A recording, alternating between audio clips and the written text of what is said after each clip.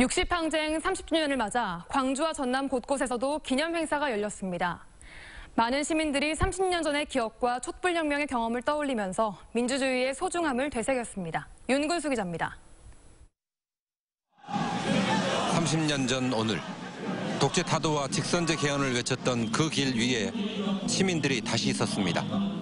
나이 지긋한 어르신부터 중고등학생 청소년까지 그때처럼 마음 하나로 뭉쳤습니다.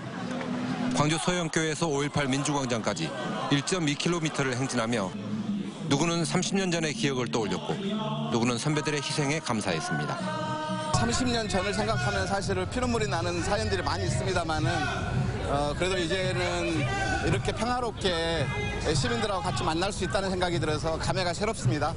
그때 이렇게 운동을 해줘가지고 이제 우리가 투표를 할수 있는 기회가 주어져가지고 좋은 것 같아요. 5.18 민주광장에서 열린 기념식에서는 시국 선언문이 발표됐습니다.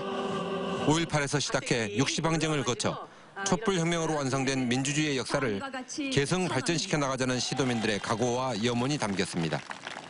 촛불 시민 항쟁은 미완의 6월 항쟁을 30년 만에 완성시킨 민주의 승리요 시민 승리의 역사 바로 그 자체다.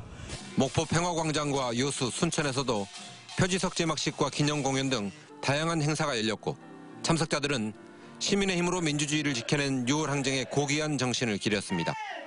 MBC 뉴스 윤문수입니다.